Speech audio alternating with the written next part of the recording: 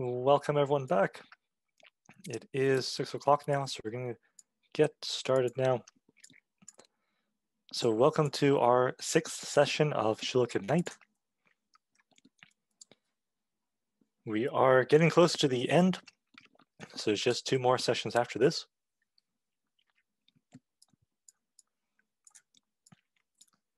So what we're going to be going over today uh, we're going to start with another cool application of software engineering. And the content for today is going to be another way to be checking for mouse clicks, handling the mouse input. And then we're going to be focusing today on functions. We're going to be learning around, so we have learned uh, about how to be using these different functions. And today we're going to be learning about how to be creating our own functions. So before we get started through everything though, we do have a poll question. All right, so we're gonna talk about a cool application of uh, software engineering here. Uh, so there is a, a, tool called DeepBar. So this is in the uh, uh area of chemistry, and they're using uh, what's called machine learning to be uh, to be helping with chemistry. So drugs uh, do their job by sticking to target proteins, and they need the stickiness in order to be uh, actually effective. So we've got a picture on the right here. Now we've got the protein uh, is the big circle. The green is that target site where we want this drug to be binding. And in the pink, there's the actual drug. And the idea is that it needs to get bound into that, uh, into that protein. So the problem though is that calculating this has um, been very computationally expensive. Uh, but scientists at MIT, they figured out a way to improve that. So they're using machine learning models to be calculating, uh, basically simulating how well are these drugs going to work uh, using computer models. And now they found a way to do it a lot in a, a lot faster way.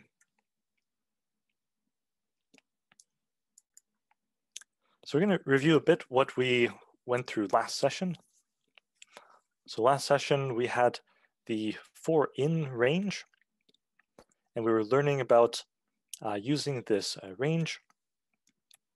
So the range, it gives us the uh, numbers from zero up to one less than the number that we've uh, specified.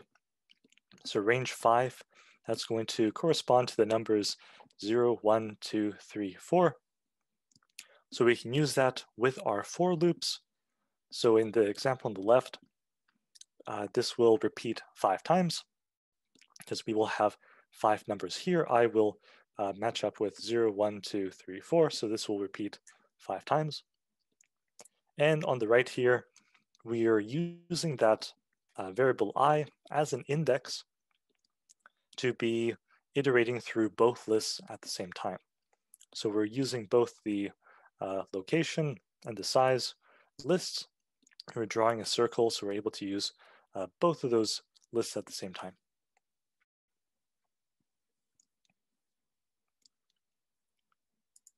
All right, so for today's uh, content now, we're going to start with the mouse input. So we've already learned a bit about uh, how to work with the mouse input, but we're going to introduce another way of, of working with this. And this is another, um, you can define your own function similar to like the def setup and the def draw. You can use the def mouse down and then the code there is going to run whenever the mouse gets uh, pressed.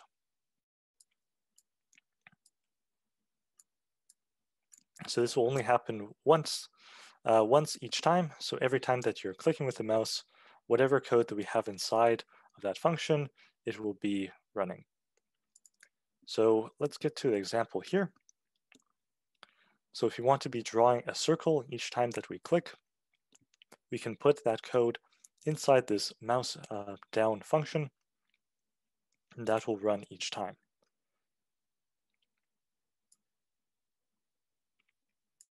So let's try this out. So I'll just put in a, a def setup and I'll put in a size. in the def draw, I'll put in a background.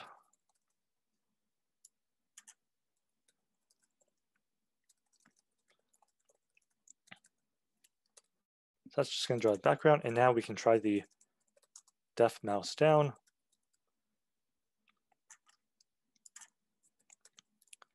And here we can put our code to be drawing a circle.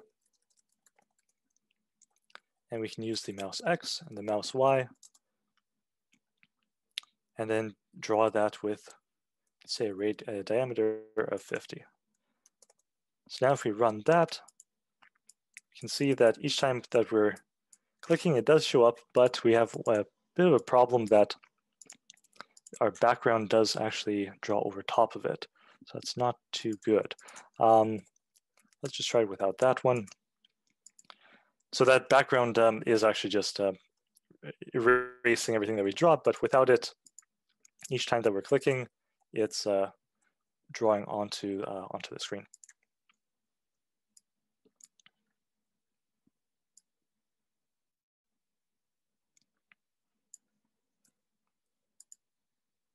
All right, so we're not going to spend too long on the, the mouse input. So that's just the another way of um, handling the mouse input.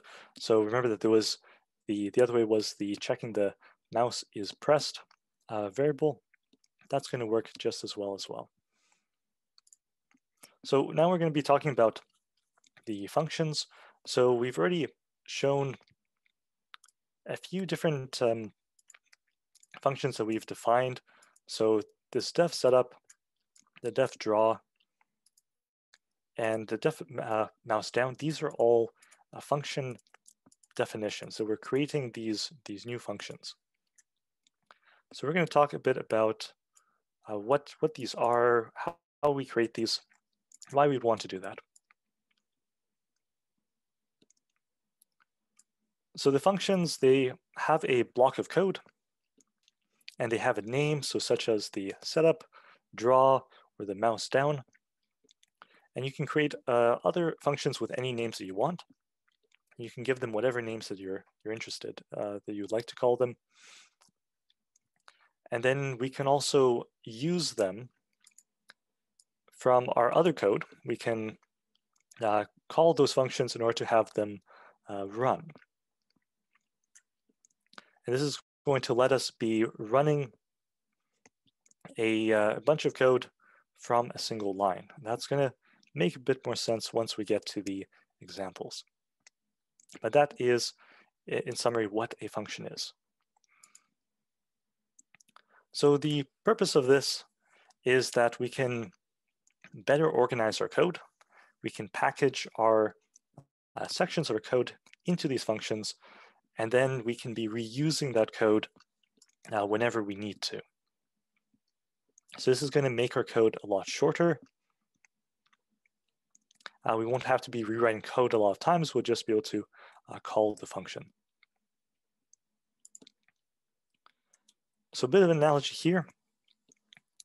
That if we have a vending machine, vending machines do a lot of different things, and they'll do these, these things many times uh, again and again.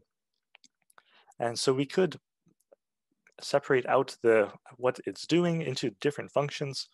So taking in money and counting it, that's uh, one thing that it has to do. Taking in person's choice of food, dispensing the, the item if there's enough money, maybe returning money if there's something left over. So these different functions uh, would correspond to one, one simple thing that the vending machine does. So like I said, we've been using uh, functions for a while. So these are the predefined ones. So for example, a print function, we've got the circle, which draws the circle, fill style, which is changing the fill colors, background, which is painting a background for us. So whenever we are calling one of these functions, we use them, they just do a single action for us. So other functions that we've been using. There's also the, the len, which gives us the length, and the random, the rand int. So you'll notice that these ones give us back a return value. So when we call these ones, they give us a value which we're then able to store in a variable. This is a bit different, uh, quite a lot different actually, from these other functions which they don't uh, return anything, they just do something. So the circle, all the circle function, it just draws the circle, but it doesn't give us back an actual value. It's just doing an action. So that's quite different um, than these other functions, which they give us back a actual value. By themselves, it doesn't make sense to uh, to not be assigning this to a, to a variable. That if we if we're not assigning these um, these to a variable, then it doesn't do anything for us.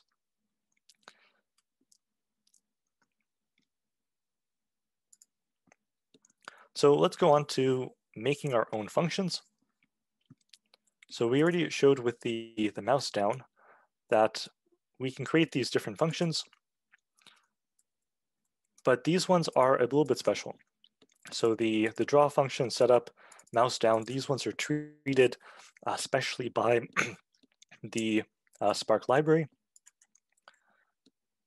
So they do have a little bit special behavior, but the other functions that you can define, they are not going to have any of that. Um, but you can still you can still use them. You can define them and give them any name that you want.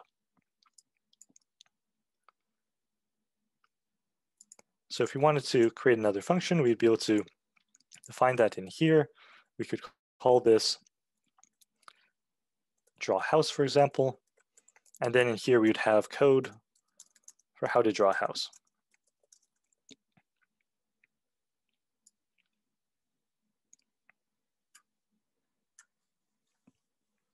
So the function is going to have a body, and that's where we'll put the code. And so that's going to be running um, to implement the functionality that, that we want our function to be doing. So why, why to be using these functions? So in this example with drawing those houses, that in your uh, draw function, or in this case in the setup function, you could have a lot of code to be drawing all these different houses. Here we have five different houses that we're drawing, and the code is um, very similar. It's all the houses look pretty much identical.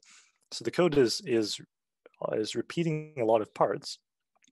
It looks pretty complicated, but don't worry about the exact uh, exactly how it's how it's working. But you can just see that there is a lot of code that we're repeating,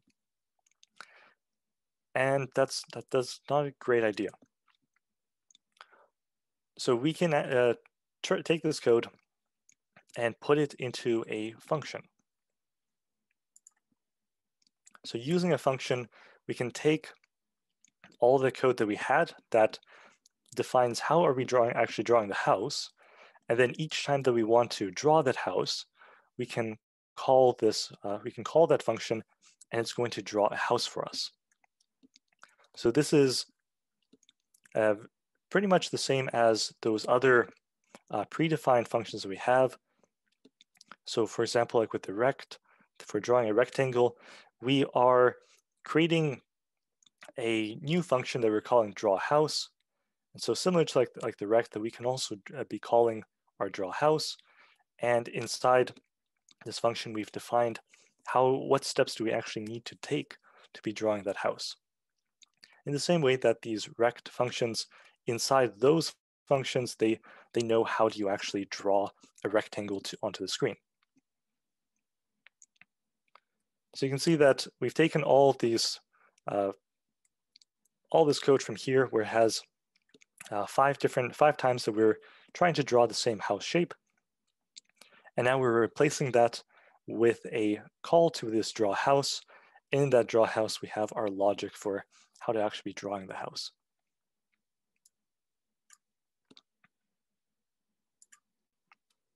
So we got our first quick question now. We've got four statements here. One of them is false. So you have to answer which one of them is false. All right, so we had quite a majority, 72% answering functions can only be called in draw. So this one is uh, definitely not true that we saw that on that previous slide that we are calling uh, these functions. These, these are function calls that we have inside here so we can call them from lots of different parts. Um, for the other one, that's the that they should be used to perform one specific action. So this is this one is true that we should be um, performing one specific action. So in this example here, drawing the house, that's the one specific house. So we don't want to put the code in here to be drawing trees or other things as well. So this isn't a strict, it's not strictly that you can't be performing more than one thing in it, but the, the keyword there was that, that it should. So functions, they, they should be doing one specific thing.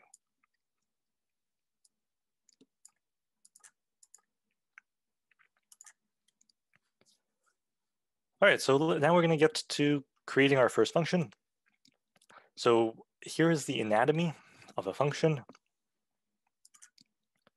So far, the functions that we were uh, defining, you'll notice that, that we had these, these brackets here. And it looks a little bit funny that why do we need to have these? And that's because sometimes we're going to have what are called parameters that go inside here. And so they aren't uh, required, but they are optionally, uh, they are optional. So if you don't have any parameters, you will leave that out and you'll have just the, the brackets by themselves.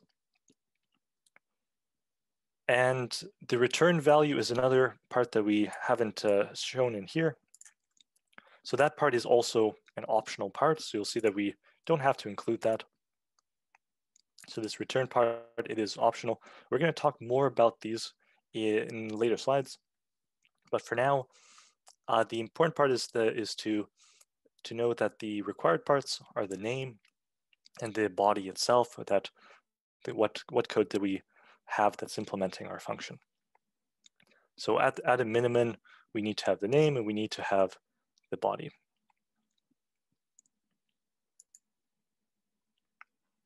So all the functions are going to have a name and this is what lets us reference it. It lets us, uh, it lets Python know which, which function are we talking about. So in our draw function, if we want to be drawing this house, we have to use that name. And so that's what lets Python know that we're talking about this particular function. That's what the name is important for. So we got two examples here that on the left, we have the, the name, we can have parameters, return value. And on the right, we have a function without the parameter, without the return value, the uh, body would have to be filled in.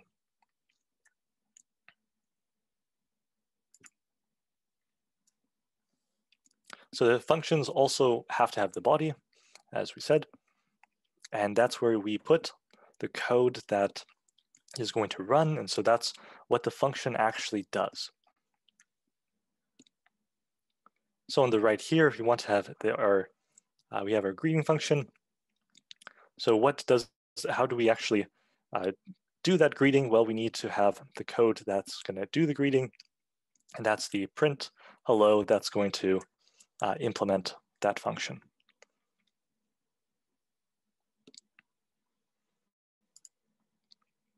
So a simple example here. So our first function here can be our def greeting. So this function uh, is just going to do something. So no, we won't have parameters, no return value. So much like the our, our def draw, it all it our def draw just draw, draws things. It doesn't have to. Uh, it doesn't need those parameters. It doesn't need the return values. It just has a block of code that just does the um, does whatever we want it to be doing. So for this function, the name of it is the greeting, and the body we have one line here, which is just print hello everyone. So let's try that out. So we'll do def greeting. And then here we have our uh, code to implement it. So we'll do a print. Hello, everyone. So if we run this right now, nothing, we're not going to see anything different actually. So that's because we haven't actually used our function anywhere. So, so far, we've just defined this function, but we're not yet using it. So we can put it in our setup, for example. Let's put it into here. And now it's going to actually print out this hello everyone. So when the code is executing, it's going to get to the greeting and it's going to uh, go over to the greeting function and it's going to run whatever is in our greeting function. So you can see at the bottom we have hello everyone printed out.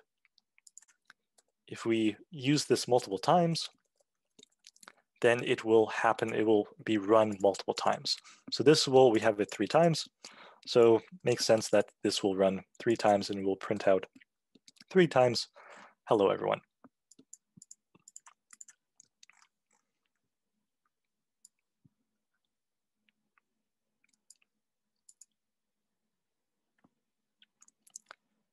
Okay, so we've basically shown this that we have to add that function into the code and we want to have that uh, same as with the def setup, def draw, on its own, it we want it outside of, of those other functions. So it's all going to be in line. So you'll, you'll see that all our defs are going to be, they, they're not going to have any indentation. They're all just um, right uh, on the flush with the, with the outside.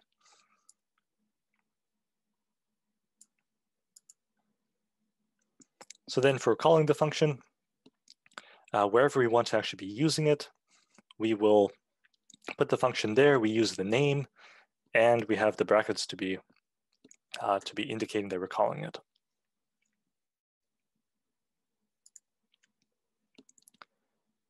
All right, so now we've got our first exercise. So for this one, you'll create your own function. Uh, it should be called random circle.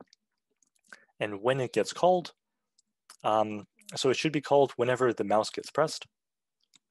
And when it's called, it should draw a circle at wherever the mouse is with a random, random diameter and a random color.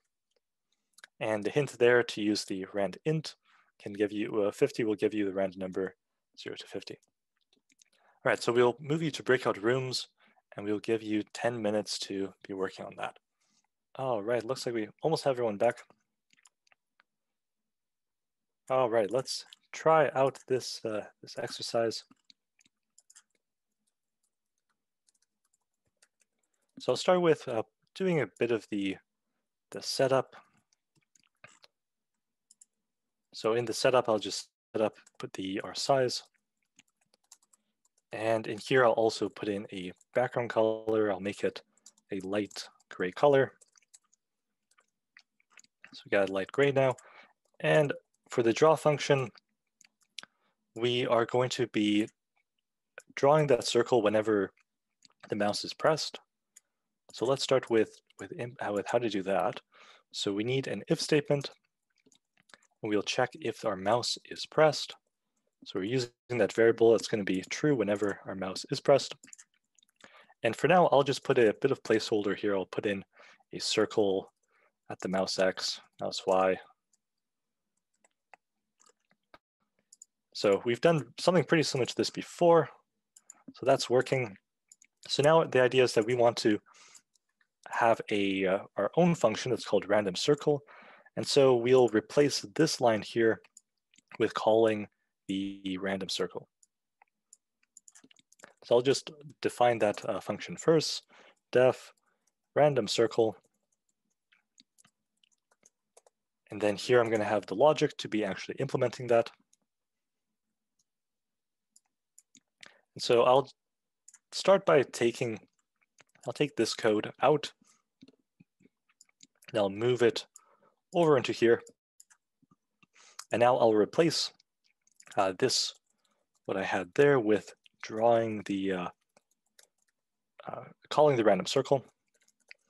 So here we'll call the random circle, and then this will run whatever is in here. So we're almost there. So this is going to do exactly what, uh, be, what we had before. That's just going to be drawing circles. So let's add in the random part. So we want to have the random diameter and the random color. So let's do the random diameter. So I'll assign to a, a variable, and we can use rand int to actually get our random uh, value. So to actually get from 25 to 75, rand int uh, with 50, that's going to give us a random number between 0 and 50. So if we add uh, plus 25 to it, that's going to give us a range of 25 to 75.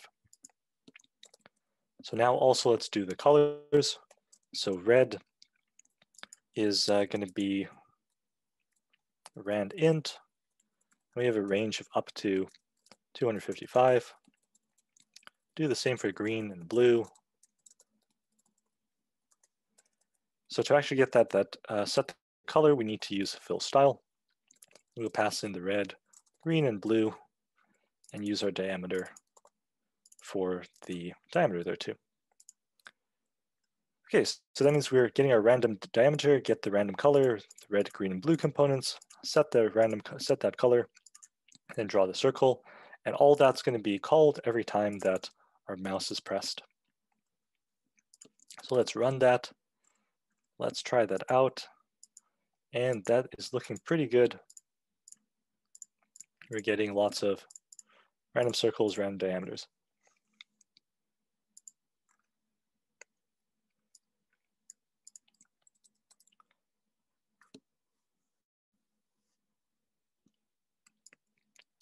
Okay, so now we're going to move on and we're going to be talking about the parameters.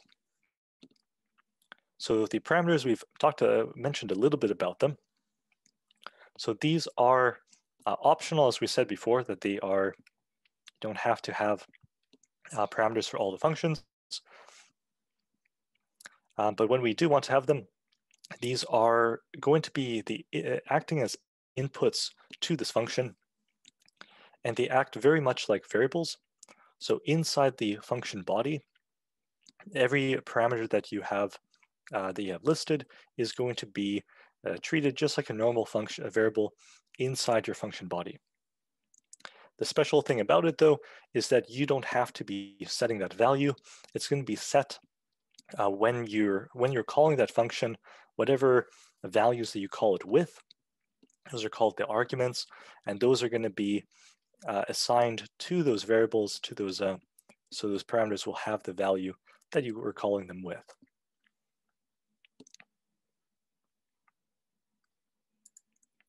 So here's an example for that.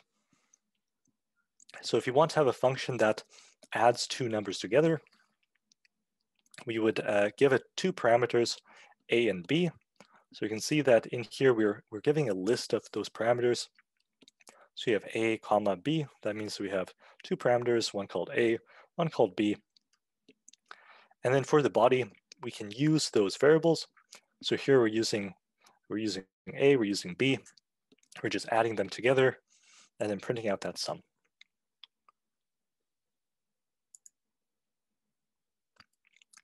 All right, so we're gonna try this out. So this is in your code, this is how, how this would look. So we've defined that function def add with the two parameters a and b. And then when we're calling it, we are passing in those two values, the three and the five. And they're going to uh, line up. So the first, the first value that we uh, that we are uh, using here is going to line up with our A. The second value is going to line up with the B. So then when we are running this, when this code runs, when we do add 3 comma 5, uh, when this code body is running, the A will be 3 and the B will be 5. So let's try that out.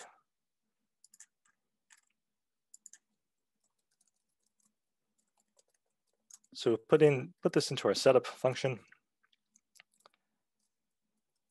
Uh, let's see. Let's let's first define that function. Def r. It's a what are we calling it? We're calling it add, and we have two parameters a and b, and we are assigning to the value to um, to sum. We'll do a plus b, and then we'll print out that uh, uh, value. So then to call it, uh, we just use just as before, and then put in the two numbers we want to do. So let's start with 3 and 5. So when we run that, we can see that it's using 3 and 5. 3 plus 5 makes 8, so the sum when it's printed out is going to be 8. If we uh, do this uh, another time, so we can call add uh, multiple times, we can use some other values, could even use some negative values, 8 and negative 2. So now a and b, a is going to be the 8, b is going to be the negative 2. So when it adds them together, we've got 6 here. And we can do 0 and 100, 0 plus 100. So each time, uh, whatever values that we're putting in here is going to be passed into this function, and they're going to be, or can use them uh, with those by the names of those parameters.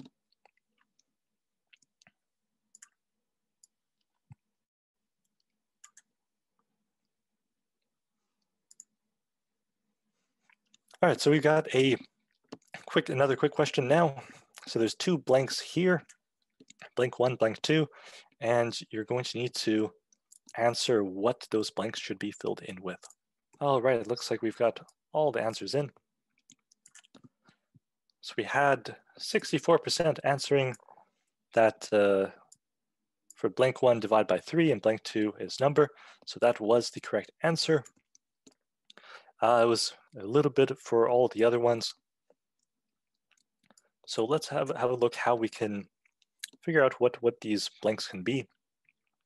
So for this first blank, we wanted to, um, we're calling some kind of function. And so that has to be filled in by the name of that function itself. So putting in a function, well, the, the name of our function is not actually a function. The name of it is divide by three. So the only thing that can really fit in here and it's going to make sense is divide by 3. So that narrows it down to those two answers. Uh, for this one here, this, this blank 2, it would need to be filled in by a parameter or could be empty. But most likely that would be, it would, we would have parameter here. Now to figure out what that would be, we can have a look and see what, what names are we actually using in here. And so there's two possibilities, result a number. Um, the number is, if, if this blank wasn't number, then we'd ask, well, where's the number coming from? We don't see number anywhere else, so it would have to be a parameter. Result is, if that was a parameter, that's, that's possible, but then the number would be, um, uh, would be missing. We wouldn't actually have any, any variable called number. So it only makes sense that, that the parameter is called number, and then we are dividing that by three, as, as the function is called, even divide by three, so it takes in a number divided by three, and it prints that out.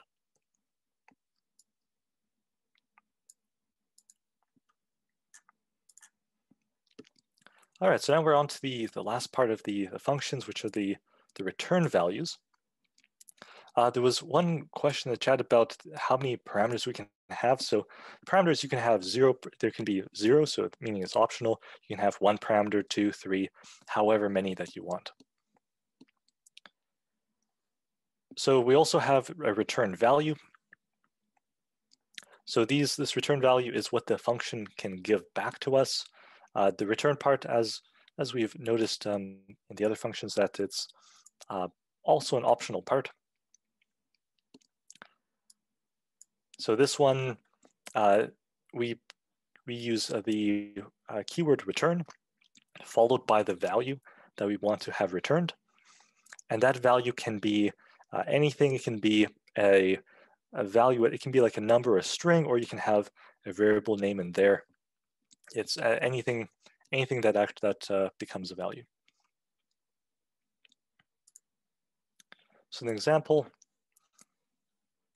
so here we'll have a function that has return value. It's going to just return uh, the value. It's not going to have any parameters. So the function that we are uh, creating down the bottom, 2 plus 2, and it's just going to return the answer. Answer is 2 plus 2, so it returns uh, 4. So when we call it, we have 2 plus 2, we're calling that. And so that means that this is going to return a the number 4 that's going to be assigned to x. And then when we print out, x plus 1 is going to be uh, 5.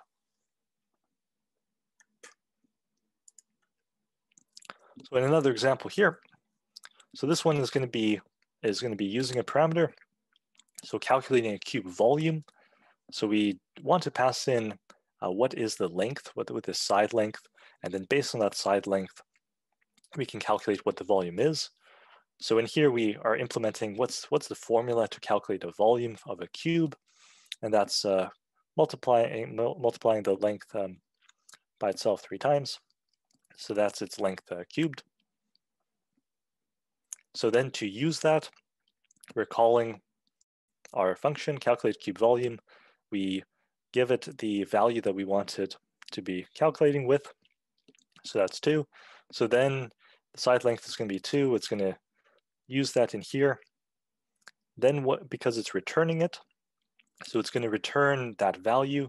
So two times two times two, that's going to give us eight. So it's going to return that and that value that's returned from, from calling it is going to be stored in our volume. And so then when we print it, we'll have that volume there. So we can quickly try this out. Um, actually, we can we can update this one. We can change this one up here to so uh, we can swap out that print. So remember that the print doesn't actually isn't uh, returning things. The print is just displaying it. So to actually get the value uh, out um, returned, we need to use the return keyword.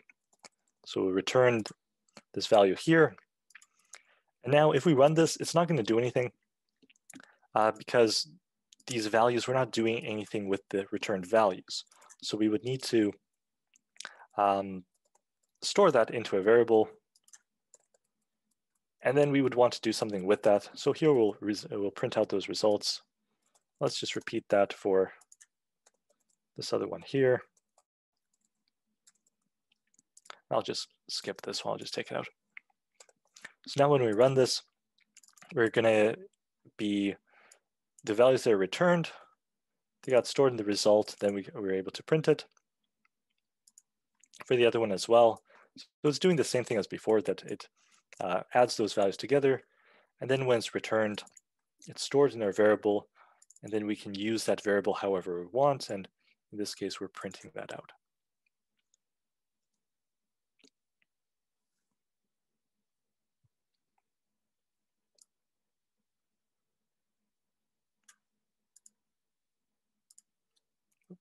All right, so now we're to our second exercise where we're going to tie everything together. So you're going to create a function that's named average, and that's going to be using two parameters uh, one called x, one called y, and it's going to return the average of those uh, two numbers. And then whenever the mouse is pressed, you'll call the average, passing in the mouse x, mouse y, and that's going to return the average of those two numbers, and then we'll use that to draw a, a stroke circle, so use stroke circle at the position of the mouse, using that returned value as the diameter. All right, so we're gonna move you to breakout rooms now, and you'll have 10 minutes to work on that. All right, looks like we almost have everyone back. All right, so let's go through this together. So we need to be drawing the those circles when our mouse is pressed, and we're using our uh, the function that we defined that we call average. So let's start with implementing uh, that, that uh, average function. So we're creating our new function, def average. We want to uh, pass in two parameters. So we'll have x and y. And then we're going to be calculating the average. So to do that, we do x plus y and then divided by 2. But we do need to wrap these in brackets because we want the divide by 2 to apply to both of them and not just the y. So the order of operations that the BEDMAS that does apply.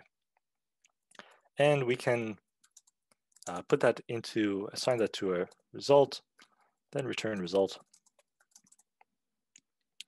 And now we can use this function and uh, we're gonna, let's do a just set up our size here and put in a background.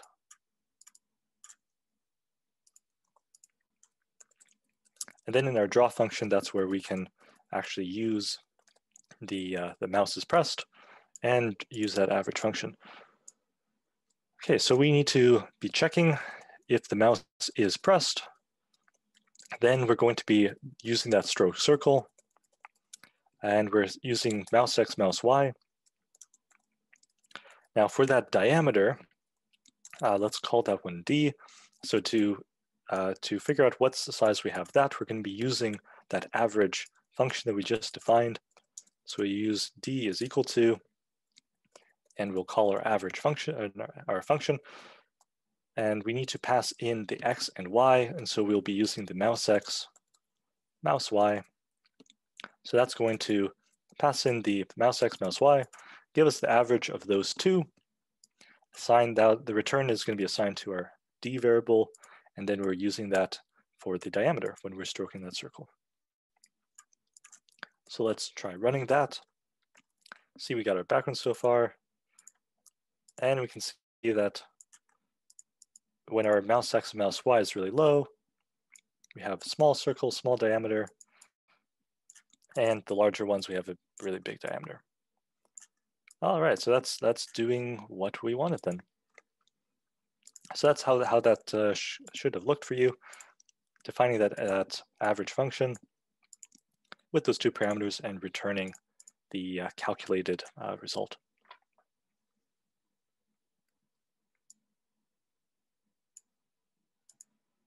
Okay, so there's one final note in here that if you want to be using uh, global variables, so one example here is that if you have a, uh, a function that uh, implements the taking damage, so if you have some uh, character and he has some, some hit points, so you'll have that as a global variable. And then whenever he's supposed to take damage, might be some condition that if he gets hit by a monster, then he needs to take damage. You can call that function and because it's we're we're updating that global variable, we'll use the global keyword to say that our health that health is that referring to the global variable. And we can update the health minus, subtract one from it. And we can check then if the health is zero, then it's going to be game over. Okay, so now we are at the uh, end of session exercises. Uh, so when you look at these slides, um, uh, yourselves. In the speaker notes, there'll be some hints about how to be implementing these. Uh, for this one, for, for both of these, the idea is to be using functions. So define a function that's going to be drawing these, uh, these scared faces. And then whenever you're clicking, then to be calling, to be drawing that. And on the right-hand side, pretty similar. We've got trees. There's a bit of a random color for the, for the tree. And for Pythonic Lava, we have um, these dartboards. So you uh, implement a function that's going to take in some parameters. So you can specify what size you want and where to be drawing it. And then calling that function multiple times to draw those multiple uh, dartboards. Then on the right, uh, this one is uh, if you're holding down the mouse to be uh, incrementing this, uh, this counter. And then when you let go, to actually draw that circle, calculate a, an area of the circle and print out what's the area of the circle. Uh, so those extra hints are in the speaker notes if you have a look at the slides yourself. And some uh, examples here for just for fun.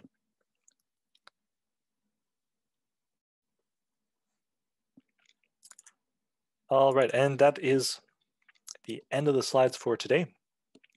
So we're going to move you to breakout rooms to uh, work on those exercises. And we're going to give you almost 20, 20 minutes. It's, it's going to bring us to the end of today's session.